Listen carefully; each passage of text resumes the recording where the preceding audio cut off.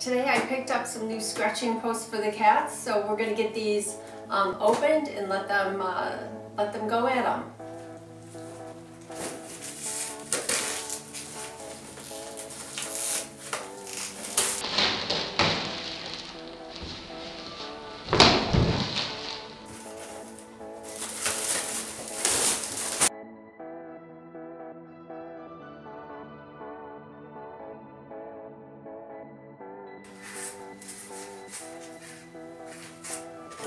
Came with catnip too, so we'll put a little catnip on there.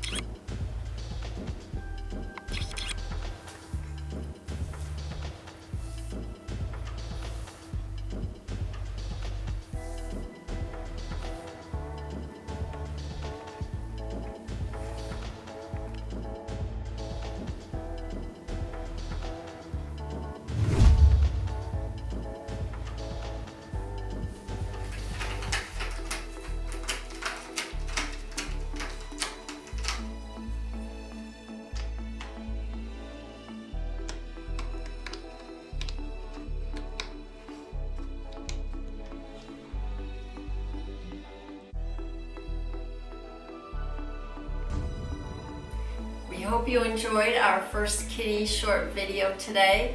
There'll be more of these coming up so we can showcase new toys that they get.